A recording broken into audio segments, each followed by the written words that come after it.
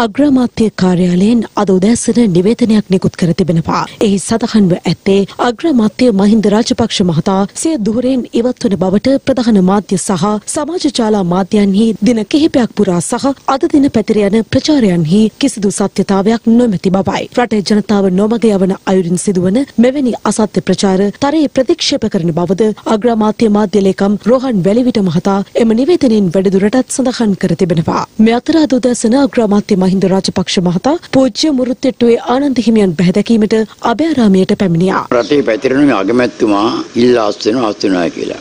නමුත් මේ අගමැතිතුමා දැනුත් මේ පම්පලට ඇවිල්ලා ගියා මම හම්බෙලා. අපි ඇහුවා එතුමාගෙන්. එහෙම දෙයක් තියෙනවද කියලා. එතුමා දන්නෙත් නැහැ.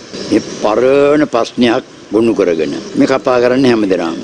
අපිට හොයන්න වෙලා ඕනකම තියෙනවා අගමැතිතුමාට අස්වෙන්න බල කරන්නේ කවුද? ජනාත්මා බල කරන්නෙත් නැහැ. වෙන කෙනෙක් බල කරන්නෙත් නැහැ ජනතාව බල කරන්නෙත් නැහැ. නමුත් අපි එතුමාට කියනවා කවුරු බලපෑම් කළත් අගමැතිතුමා අස් වෙන්නේ නැහැ අස් වෙනවා නම් අපට කියලායි අස් වෙන්නේ. දිනපතා අලුත් වීඩියෝ සහ ප්‍රවෘත්ති නැරඹීමට ඉහත බටන එක ක්ලික් කර සියත TV සබස්ක්‍රයිබ් කරන්න.